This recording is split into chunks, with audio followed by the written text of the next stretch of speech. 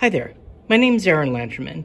I'm a professor of electrical and computer engineering at Georgia Tech, and this is the control panel from a Tron arcade game. I do have the cover for this somewhere that I paid a ridiculous amount of money for on eBay. And I had students in my retrofuturistic hardware team at Georgia Tech, the vertically integrated project, make this little wiring harness setup that connects over to a Raspberry Pi Pico. And I had them create a script in Circuit Python that runs on the Pico.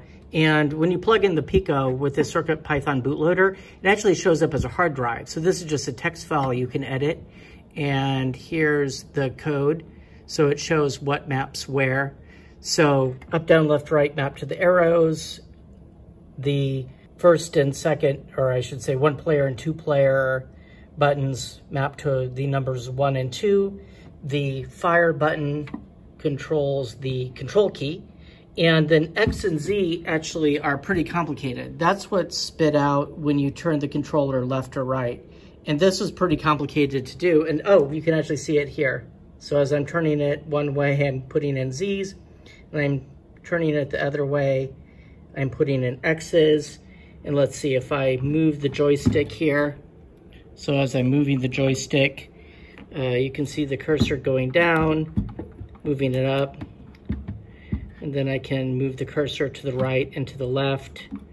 And um, actually the control key won't show up well, but I'll show you in a second that it works. There we go. There's one player and two player. All right, so let me clean that up and then we'll try it on Tron. So in MAME, we have our controls mapped appropriately.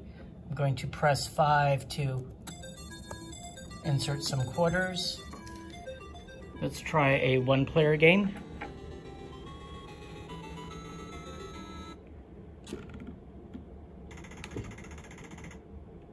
Okay, I can't really... Okay, let's first demonstrate that I can move my tank. Okay, let me now demonstrate that I can turn the knob here and change the direction of the turret. It's a bit janky. I think this is gonna need some fine tuning. Ah, okay. So I do own a tripod. I just, I don't think I've got a mount to use my phone here. Should get something like that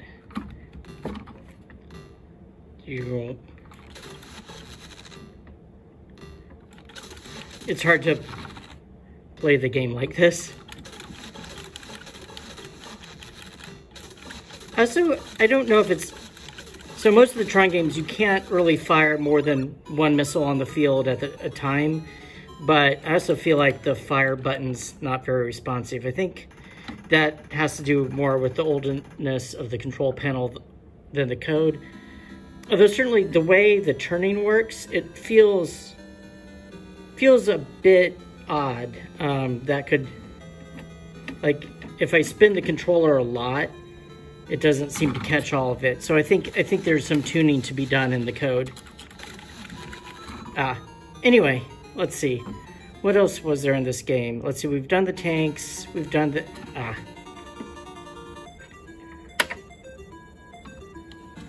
see. Uh, what's the other? The other one, oh, the other one's the light cycles.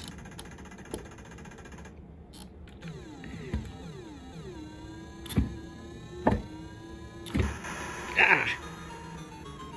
So, part of it is I'm not very good at Tron. Part of it is I think maybe the code needs optimized. Maybe if we didn't use Circuit Python and we coded it in C, maybe, or whatever the Arduino compiled language is, it might be a little more responsive.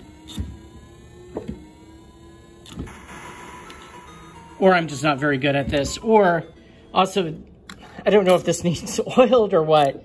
It doesn't, it feels like it's a bit on the um, metaphorically rusty side. Anyway, you get the idea.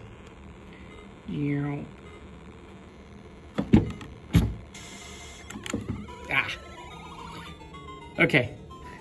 So really, this is a game that needs two hands working. All right, that's the idea.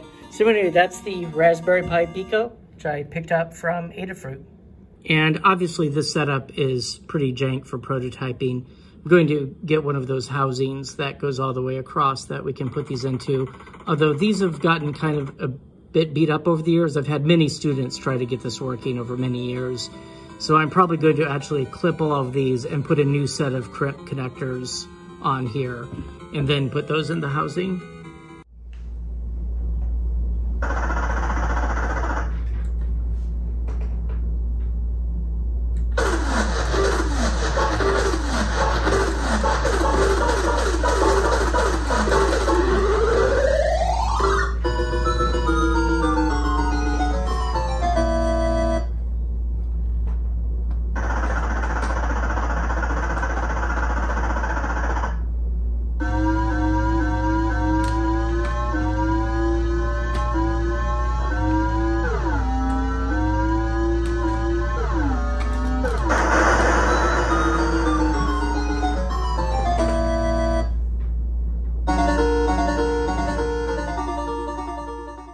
This is an open source project, so if you would like, you can go to Armaan's GitHub and take a look at the code that goes onto the Raspberry Pi Pico.